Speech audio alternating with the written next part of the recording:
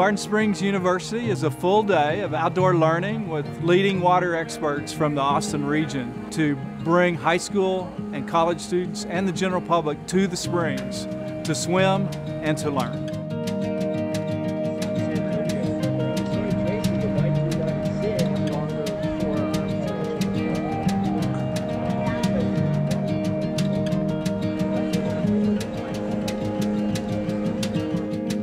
Average of 32 million gallons of water every day gets pumped up from the aquifer.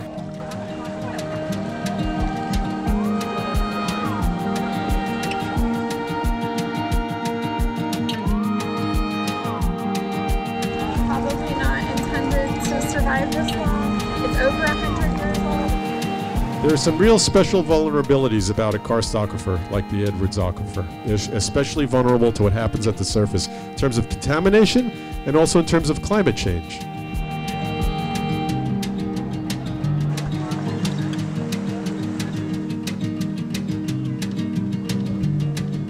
We desperately need people with an environmental perspective everywhere. My background as a community organizer and also at working at Save Our Springs has really helped me be a better lawyer.